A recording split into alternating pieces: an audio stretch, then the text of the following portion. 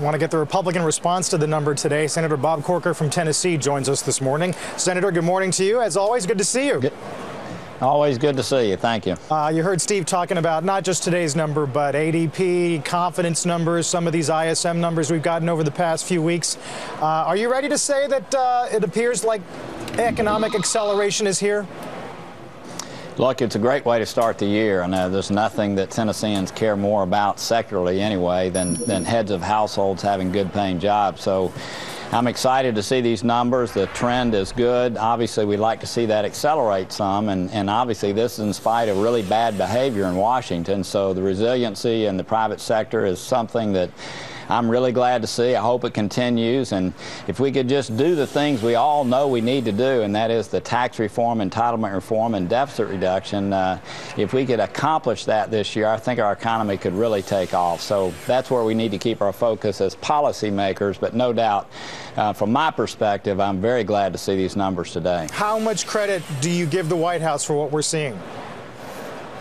I, you know, I don't think you'd be uh, expecting me to say anything different. I've been on the program many times, but I really don't give it any. I, I, I, don't give Congress any. I don't give Washington any. I mean, these numbers are in spite of all of us. Uh, uh, and really bad behavior in Washington. Again, the inability to deal with the things that all of us know we need to deal with, and and those are the items I just mentioned. Obviously, uh, Europe has been a hangover, and there's not much we can do about that, and the headlines there continue to affect us uh, daily uh, in our own markets. But look, we haven't done the things in Washington that everyone knows uh, has to be done, and I'm hoping there's a window for that, Carl, in April as uh, as the Defense Department begins to, to sort of adjust, knowing that this sequester is going to begin taking place in January, and as people uh, on the left see that social programs are going to be uh, hugely affected. So I think there's an opportunity in April for us to do the things that all of us know need to happen, and if not then, in December, when much of the tax policy that exists today is going to be out the window uh, at the end of, on December 31st. Yeah. So I think there are two windows of opportunity, but I, I can't give Washington, uh, either Congress or the administration, any credit whatsoever. I mean, we just have not done the things that need to be done. Yeah, I know. There's a lot of so concern I think this is this this is the private sector and its resiliency, uh, in spite of the fact that uh, we've had very bad behavior out of Washington. So we're so we're supposed to believe this is happening in a vacuum, and that and that if it were a Republican president in office, you would be saying the same thing. Uh, good news for the private sector, good for them has nothing to do with policy in this country. Huh.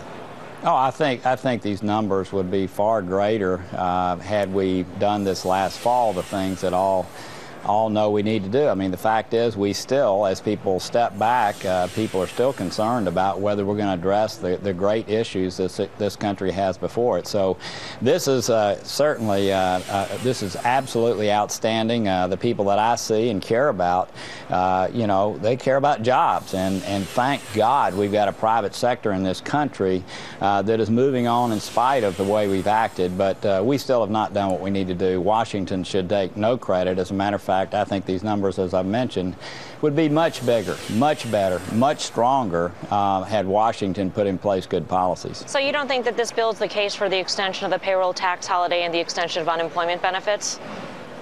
I, I, mean, I don't know how you can look in the rearview mirror at something that happened in December uh, for policies that are begin to take place uh, in January. No, I don't think uh, I don't think this builds a case uh, for anything other than uh, the great resiliency of our private sector to, to, to move on in spite of uh, us in Washington uh, mm. acting as poorly as we do. So. But, but in an environment where, rightly or wrongly, the president will take credit for the fact that the unemployment rate has gone down to eight and a half percent, what would you yeah. say to your fellow Republicans who may be lining up to uh, to oppose the extension of the yeah. payroll tax cut when it bounces back in a month and a half? Yeah. Because the politics, uh, Senator, are changing, are they not?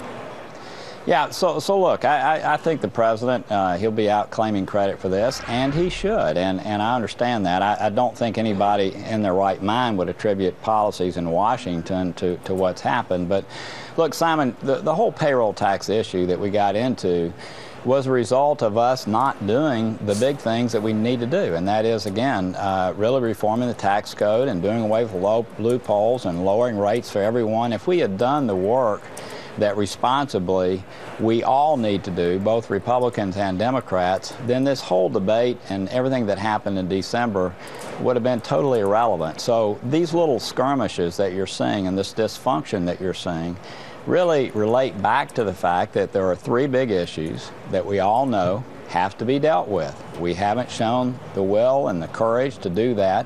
We have to do that. My sense is we still have a great opportunity for that to occur sometime in the year 2012. And again, I hope, uh, I really believe we still can do that. It may be in late December.